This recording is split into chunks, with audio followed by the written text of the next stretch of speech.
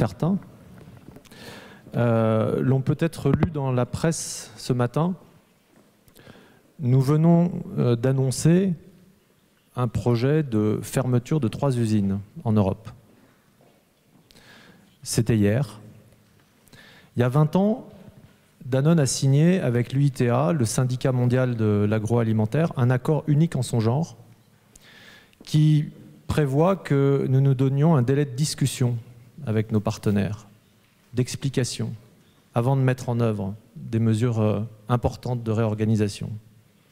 Et donc hier, j'ai passé la journée à Genève. J'étais euh, au Bureau international du travail avec une centaine de nos représentants de salariés du monde entier, des syndicalistes.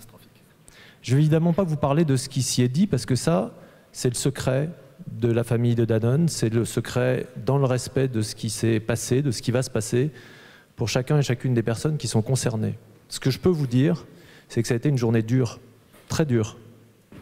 Une journée où il y a eu euh, beaucoup de colère, de dépit, de déception, de surprise, beaucoup d'émotions, beaucoup de reproches. Et certains d'entre eux, franchement, qu'il n'y avait pas besoin de me faire pour que je me fasse à moi-même. Et quand je suis rentré très tard hier soir, je me suis vraiment demandé ce que j'allais bien pouvoir vous dire ce soir, et si ça avait du sens que je vienne. Et si ce n'était pas l'imposture d'être là à vous parler de la co-création. J'ai dormi dessus et je me suis dit que si je faisais ça, le système aurait gagné. Et comme en plus je ne crois pas qu'il y ait un système, je me suis dit que j'aurais reculé dans mon courage de faire face à des contradictions et fondamentalement à ce chemin sur lequel j'essaye d'avancer, parce que c'est la seule raison pour laquelle je me lève le matin pour aller travailler, comment est-ce que je peux réconcilier l'économique et le social? Parce que l'économique sans le social, c'est de la barbarie, et que le social sans l'économique, c'est de l'utopie. C'est quoi le chemin qui passe au milieu? C'est mon chemin à moi, j'ai rien d'autre à partager. Et je voudrais vous proposer simplement trois jalons pour baliser ce chemin de réconciliation. Le premier, c'est que je pense que tout passe par les personnes. Vous voyez, on parle de Grameen Danone, social business au Bangladesh, de Danone Communities, notre fonds de social business.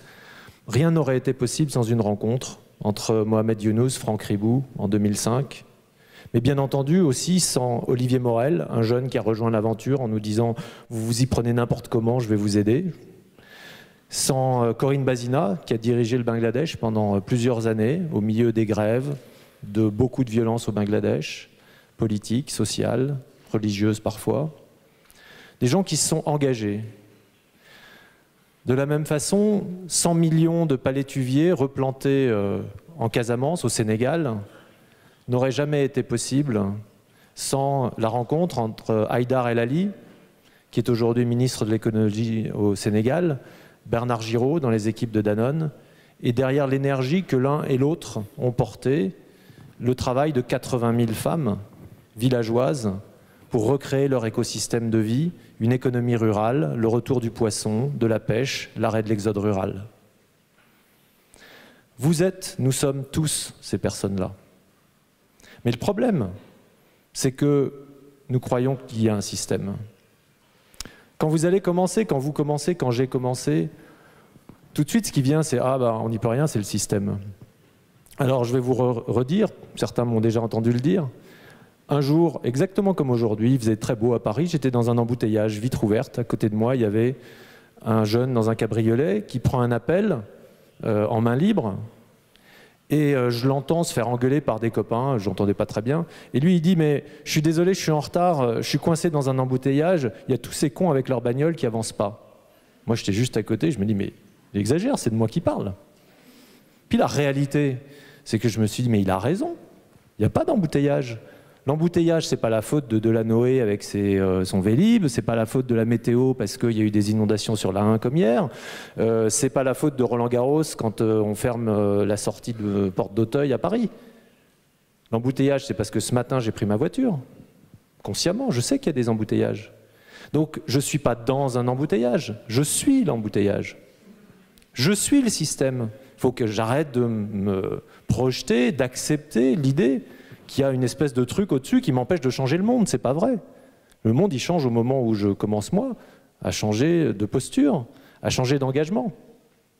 Et donc c'est ça mon premier jalon, c'est repartons de l'infinie créativité, capacité des personnes lorsqu'elles réalisent une chose, c'est que nous sommes tous acteurs, tous. Dans n'importe quelle institution, dans n'importe quelle organisation, ONG, il y a des intérêts pour le statu quo. Toute organisation humaine s'organise pour que les choses ne changent pas. Toutes, même Danone, tout le monde. Sauf qu'à l'intérieur, il y a des consciences qui peuvent se lever. Et le rôle de dirigeant, c'est d'ouvrir ces chemins d'utopie, c'est de les autoriser. C'est un devoir que nous avons si on veut vraiment que les choses changent. Le deuxième, c'est évidemment qu'une fois qu'on est parti de cette conscience individuelle, si on veut que le changement porte à l'échelle et porte dans le temps, il faut passer à une logique institutionnelle. Et pour ça, il faut faire des alliances. Vous vous souvenez, fin 2008, crise mondiale, 9 millions d'emplois supprimés aux États-Unis en 18 mois on a été très frappé par une chose. L'État a redemandé, a demandé aux, fabricants automobiles, aux États-Unis, en Europe, en France d'ailleurs, aux deux grands, de remettre de l'argent chez leurs fournisseurs. Ils avaient trop tiré sur la corde. Les gros avaient trop tiré sur les petits. Et on s'est posé la question, qu'est-ce qui se passe chez nous, chez Danone?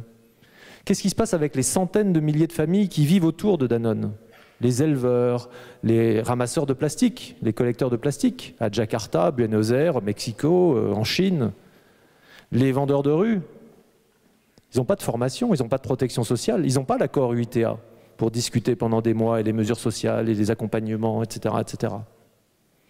Alors on a décidé de créer un fonds, un fonds qui allait travailler à rendre cet écosystème vivant, solide, capable d'une autonomie, voire d'une indépendance à notre égard. Ce qu'on a voulu faire, c'est associer nos actionnaires. Et nous voilà partis, vous imaginez, Wall Street, euh, licenciement partout, euh, le marché s'était écroulé, les gérants de fonds n'avaient pas de bonus cette année-là, pour ceux qui restaient, c'était des primes totales. Entre Noël 2008 et fin janvier 2009, nous les avons rencontrés, un par un. On n'a pas parlé de système, on n'a pas fait de lettres aux actionnaires, on est allé les voir et on a discuté. On a discuté pour leur expliquer pourquoi c'était important pour Danone de faire ça. Beaucoup d'entre eux, certains au moins, avaient des doutes sur ce qui est en train de se passer. Peut-être que c'est ça qui a permis cette étincelle, cette discussion. Après avoir vu les 50 plus gros actionnaires de Danone, qui sont des fonds de pension américains, qui sont des hedge funds, qui sont des institutionnels français, en réalité majoritairement non français, une entreprise cotée avec 300 000 actionnaires, comme toutes les autres grandes entreprises cotées. On a acquis la conviction, après ce dialogue, que peut-être que nos actionnaires allaient suivre ce projet. Donc on l'a proposé au Conseil, qui l'a proposé à l'Assemblée générale. Et ce qui s'est passé en avril 2009, cette alliance de 50 personnes a permis de faire basculer un paradigme qui est sans doute, de mon point de vue, qui suis passé beaucoup par la finance, l'un des paradigmes les plus solides du système. À quoi sert une entreprise cotée? Que doivent faire les dirigeants d'une entreprise cotée? Maximiser la valeur des actionnaires, maximiser les profits. Eh bien, le 23 avril 2009, 300 000 actionnaires, en tout cas 65% d'entre eux étaient présents et représentés, ont voté à 98% la création d'un fonds de dotation qui a prélevé 100 millions d'euros sur les profits de l'année précédente, sur les réserves de l'entreprise, pour les investir intégralement dans la construction de l'écosystème de Danone. Ce jour-là, on a cassé un paradigme. Depuis, personne ne peut dire que c'est impossible. Il suffit d'essayer. La question, c'est est-ce qu'on arrive à créer cette alliance, ce pool de gens qui ont juste envie de faire un pas de côté pour regarder les choses différemment, un petit pas de côté, mais qui permet de casser un paradigme et d'entrer dans quelque chose de nouveau. Au fond de cette question d'alliance, il y a mon troisième jalon. C'est le trésor de la relation. Fondamentalement, c'est ça le vrai sujet. Si je retourne encore un peu plus en arrière, en 2005, en novembre 2005, je me suis retrouvé un, week-end avec une équipe de Danone à Dhaka, au Bangladesh. On a passé le week-end à négocier avec Mohamed Younous et son équipe de Grameen Bank ce qui allait constituer euh, Grameen Danone, notre première joint venture de social business. Puis à la fin du week-end, euh, Younous nous a emmenés sur le terrain. On est allé dans un village à côté de Dakar, à 30 km. Et là, nous attendait sur la place du village, sous un, auvent en, toile, en, tôle ondulée, une cinquantaine de femmes qui étaient assises en sari, multicolores, qui discutaient. Younous arrive, silence, commence à raconter ce qu'on va faire. Choc tidoy, un yaourt incroyable, super renforcé, fortifié, super bon pour la santé de vos enfants. Vraiment, ça va être bien. Qu'est-ce que vous en pensez?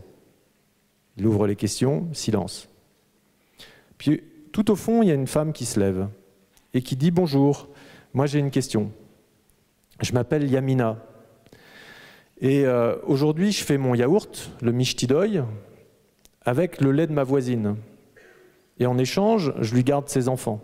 Parce qu'elle, elle travaille au champ, elle traite leurs deux vaches, et après, elle doit marcher très longtemps pour aller au village pour vendre le lait. Et elle revient. Alors, j'ai compris que Shoktidoy, c'était vraiment bien pour les enfants, pour mes enfants. Mais pour acheter Shoktidoy, il faut que je travaille. Si je travaille, je pourrai plus garder les enfants de ma voisine. Donc, elle va faire comment? Alors Younous a tenté une réponse. Franchement, j'ai senti qu'il n'était pas convaincu par sa réponse. Pourtant, c'est difficile de le prendre en défaut. Et moi, je peux vous dire, c'est la question la plus difficile qu'on m'ait posée. Il y a bientôt dix ans, je n'ai pas trouvé de réponse. Personne ne m'en a apporté. Pourquoi? Parce que nous sommes incapables de voir autrement cette relation entre Yamina et sa voisine que comme les réminiscences d'une économie archaïque, d'une économie de troc, dans laquelle l'insécurité était présente, dans laquelle pour survivre on dépendait de son voisin. Et nous, c'est quoi notre économie? Notre économie, c'est l'inverse. C'est essayer de se passer les uns des autres. C'est être autonome, pouvoir prendre sa retraite euh, sans penser au reste pouvoir euh, retirer de l'argent sans parler à un banquier, euh, acheter à manger sans parler à un épicier, puis rester chez soi de préférence sur Internet, se faire livrer quand on peut et qu'on a les moyens. Mais c'est ça. On a dématérialisé une économie, on a déshumanisé notre économie. On est passé à une économie de stock. Le capital, c'est quoi d'autre que du stock? Le capitalisme. Au lieu d'une économie de flux qui accepte d'être euh, dans un échange permanent, dans un risque de tendre la main, de donner et de recevoir une économie d'avoir au lieu d'être une économie d'être. Mais c'est de ça qu'elle meurt, notre économie, et qu'elle va mourir. Si on ne change pas, elle va mourir. Elle va mourir de cette incapacité à voir la valeur humaine derrière chacune de nos transactions monétaires, électroniques, les algo trading à Wall Street. Tant qu'on est dans ce paradigme-là, on ne verra pas la valeur, la richesse fondamentale pour Yamina de sa relation avec sa voisine. Et c'est là que la co-création, si elle est pensée, si elle est vécue, en tout cas moi je le constate sur notre petit chemin, sur un chemin de réconciliation, c'est un chemin de réconciliation. Parce que la co-création, ça oblige à une chose, à s'arrêter, à s'écouter, à accepter la différence, en tout cas à la reconnaître, sinon on crée juste rien, à rentrer dans un rapport au temps qui est d'ailleurs différent. Le Bangladesh, on a mis beaucoup, beaucoup, beaucoup plus longtemps que ce qu'on croyait. Partout d'ailleurs dans le monde, on met beaucoup plus de temps sur les sujets d'innovation sociale que ce qu'on croit. Mais c'est ça le prix à payer pour rentrer dans la co-création, dans l'acceptation de cette altérité.